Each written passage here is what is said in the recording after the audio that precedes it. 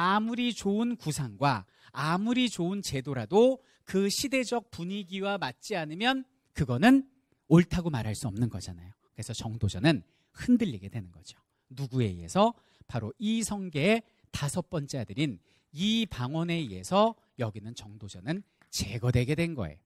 그럼 여기는 정도전이 이 방언에 의해서 제거되게 된 이유는 두 가지죠. 첫 번째는 겸양하지 못하고 자신의 세상을 만든다는 명분으로 건방을 떨고 다녔던 거고요. 두 번째는 뭐냐면 안 좋게 얘기해서 건방이에요. 두 번째는 뭐냐면 너무나 미래지향적이고 이상주의적이었다는 점이 한계였다. 이렇게 보시면 돼요. 자, 반면 이방원은 어떻습니까? 자, 제가 지금 정도전이 꿈꾼 세상과 이방원이 꿈꾼 이상세계의 공통점과 차이점을 제가 지금 한번 보여드릴게요. 자, 먼저 정도전하고 이사, 아, 여기는 이방원의 차이점을 볼게요. 방금 말씀드렸다시피 정도전은 재상 정치를 꿈꿨고요. 그리고 이상주의자였어요. 미래주의자였습니다. 그런데 여기 있는 이방원은요. 왕권 강화의 꿈을 꿨고요. 군주정을 꿈을 꿨고요. 그리고 극단적 현실주의자가 바로 여기는 이방원이었습니다. 이 시대는 이게 맞아요.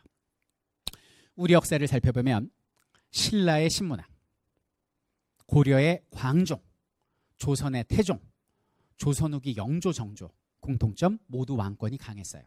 항상 왕권이 강할 때 그 시기는 태평성세였고 외척이나 신하의 권한이 강할 때 나라가 어지러웠거든요.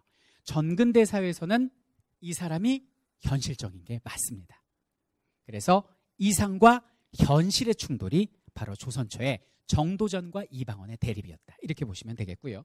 그리고 두 사람의 공통점도 있습니다. 그건 뭐예요? 백성을 위한 세상, 민본, 그리고 유학자였다는 거죠. 아, 선생님, 아, 정도전이 유학자지 무슨 이방원이 유학자요? 어? 철퇴나 들고 다니지. 그렇지 않아요. 여러분들 이방원이 얼마나 똑똑한 사람이냐면 말 그대로 조선왕 27명 중에 유일하게 지덕체를 다 갖춘 아 유일은 아니구나. 조선 후기에 정조가 또 이랬어요. 그러니까 27명 중에 정조와 더불어서 유일하게 지덕체를 다 갖춘 사람입니다. 조선시대 왕 중에 유일하게 과거에 급제한 사람이에요. 과거에 왜 급제를 했을까요? 똑똑하기도 하고 이 사람이 과거 시험 볼 때 자기 아버지가 왕 되기 전이죠. 그럼 이방원 아들 세종부터는 어때요? 아버지가 왕이니까 과거 시험 볼 일이 없죠. 그죠? 근데 이 과거가 얼마나 힘든 시험이에요? 3년에 한 번씩 치르는데 누적해서 수험생 쌓이죠? 전국 33등 안에 들어야 돼. 근데 전국 몇 등 하는지 아세요? 3년에 한 번씩 치르는 과거에서 17등.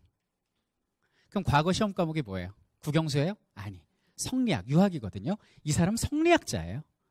거기다 아버지와 함께 말을 타고 다니면서 외구도 때려잡죠. 아버지 왕 되는데 정몽주를 제거하는 엄청난 카리스마와 리더십까지를 가진 지와 체를 동시에 갖춘 사람이 여기는 이방원이 됩니다. 잘못했습니다. 덕은 지우겠습니다. 가만 보니까 덕이 없네.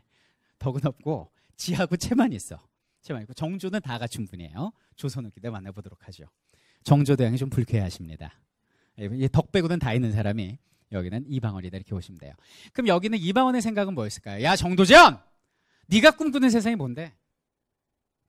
유학의 세상, 공주가 꿈꾸던 세상, 백성이 근본이 되는 세상, 이상사회, 나도 같은 꿈을 꿔. 근데 넌 방법이 틀렸어 이 자식아. 왕을 억누르고 재상이 앞선다고? 그거 너무 미래지향적이고 이상주의적인 거 아니니? 내가 왕이 돼서 극단적 왕권화를 해서 내가 정군이 돼서 어려운 백성들 내가 다 챙기겠다. 네가 백성 알아? 어 알아. 너 고려 말에 저기 귀양 가가지고 전라도 어? 쪽방촌에서 천민들하고 먹고 살면서 백성 이해한다고 생각하지만 나도 우리 아버지 쫓아다니면서 외구 때려잡을 때 아픈 백성들 상처 치료해주고 먹을 거 나눠주고 누구보다도 스킨십 했던 사람이야. 나 너에 비해서 꿀리지 않아. 너 먼저 좀 가줘야겠어.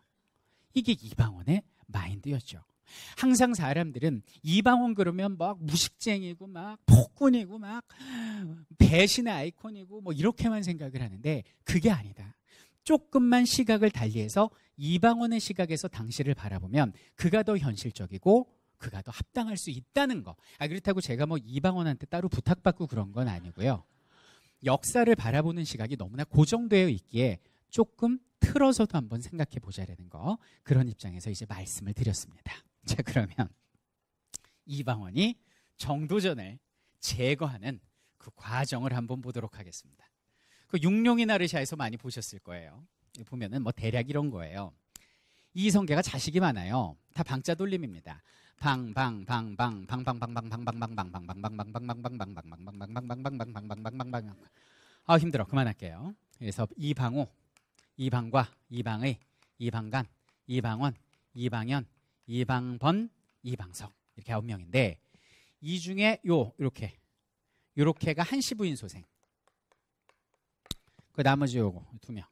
이 사람이 강씨 부인 소생인데 요 한씨 부인은 이성계가 왕 그러니까 이게 좀뭐 다른 자식이에요. 배 다른 자식, 배가 다르다. 이복 형제. 근데 여기는 한씨 부인은 자기 남편이 왕 되는 거 보기도 전에 고려 말에 죽어버렸고 실제 이성계가 왕 되는데 조력자로 활동한 건 강씨 부인의 공이 상당히 큽니다. 이 여자가 되게 똑똑한 여자예요. 공신입니다, 이 여자도. 근데 이성계가 이제 왕이 딱 되니까 여기는 강씨 부인은 욕심이 생겨요. 욕심을 부리면 안 돼. 딱 보면 누가 봐도 그 다음 번왕은 여기는 방언이거든요. 아 정몽주 죽였잖아요 지난 시간 정몽주 안 죽였으면 어떻게 이성계가 왕이 돼 조선이 어떻게 왕국이 돼 누가 봐도 방언인데 이 여자는 욕심을 부려서 내 아들을 앉혀야겠다 생각을 한 거예요 그래갖고 이 정도전하고 짜요 자 정도전 입장에서는 방언이가 왕 되면은 재상 중심의 정치 못합니다 그래갖고 이제 여기는 정도전에 상소를 올려갖고 막내 방석이를 그 다음 왕의 후보자 세자로 이제 건의를 해요 그럼 이성계 입장에서 뭐 정도전 말이라면 뭐 다 듣지. 거기다가 막내는 또 얼마 이뻐. 막내가 제일 이뻐. 그래갖고 에이 그러면서 방언이를 아, 방석이를 세자로 책봉한 거예요. 그럼 여기는 방언 입장에서 기분 나빠 안 나빠? 나쁘죠. 완전 기분이 나쁜 거예요. 그래가지고 도저히 안 되겠다 싶어가지고 야 정도전 너 왜 남의 집안일에 간섭해? 그러면서 정도전이 왕족 형제들을 죽이려 했다라는 누명을 뒤집어 씌우고 군사를 일으켜서 개인 병사 사병을 일으켜서 정도전을 죽이고 정도전과 한패거리다라는 누명을 씌워서 배다른 동생 방번이와 방석이를 죽여버린 사건. 이것이 바로 방언이가 벌인 제1차 왕자의 난이 되는 거예요 무시무시한 피바람이 군 겁니다 이때 이성계는 들어 누워버리죠 방언이 네가 이미 힘이 없어 늙은 거야 이빨이 다 빠졌어요 호랑이가 자 그리고 나서 여기는 이방원도 처음부터 왕이 되지 않고 자신의 둘째 형을 허수아비로 왕으로 앉힙니다. 이 허수아비가 태정태세 문단세 할 때 바로 제2대 정종이다 이렇게 된 거예요. 그러니까 정종은 말 그대로 뭐다? 허수아비다 이렇게 보시면. 자, 근데 이제 어, 이 정종이 후사가 없어요. 음? 후사가 없으니까 그 다음 왕은 누가 돼야 돼? 형제 중에 누가 돼야 될 거 아니에요? 그럼 당연히 그건 방언이 차례예요. 그래서 새 자간이라 새 재책봉을 하려고 했는데 여기서 이제 방간이 나서는 거죠.